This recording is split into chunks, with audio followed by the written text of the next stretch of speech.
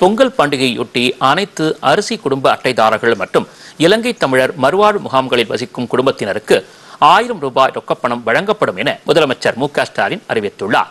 இந்த ஆண்டு பொங்கல் பரிசு தொகுப்பு வழங்குவது குறித்து கடந்த திங்கட்கிழமை அமைச்சர்கள் மற்றும் அதிகாரிகளோடு முதலமைச்சர் ஆலோசனை நடத்திய நிலையில் இந்த அறிவிப்பினை தமிழக அரசு வெளியிட்டுள்ளது. அதன்படி அனைத்து அரிசி குடும்ப அட்டைதாரர்கள் மற்றும் இலங்கை தமிழர் மறுவாழ்வு முகாம்களில் வசிக்கக்கூடிய குடும்பத்தினருக்கு ஆயிரம் ரூபாய் ரொக்கத்தோடு ஒரு கிலோ பச்சரிசி மற்றும் சர்க்கரை வழங்க முதலமைச்சர் உத்தரவிட்டுள்ளார். இதன் மூலம் இரண்டு கோடியே பத்தொன்பது லட்சம் குடும்ப அட்டைதாரர்கள் பயன்பெறுவார்கள். அரசுக்கு சுமார் இரண்டாயிரத்து ஐநூற்று முப்பத்து ஆறு கோடியே அறுபத்தி ஏழு லட்சம் ரூபாய் கூடுதல் செலவினம் ஏற்படும் என்று தமிழக அரசு தெரிவித்துள்ளது.